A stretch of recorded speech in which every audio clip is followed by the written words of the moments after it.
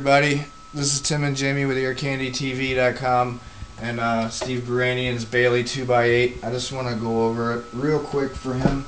Um, he's been real patient, and uh, when he placed his order, he asked for something kind of cool to go with the front piece to match his grill cloth. He um, ordered a all oxblood grill cloth, which basically kind of looks black unless you get it in some light, and you can kind of see that it's got like a nice purple reddish oxblood color to it. So he wanted something in the on the front to accent his grill cloth. So we did a really nice transparent Diablo bird's eye figured maple front for him.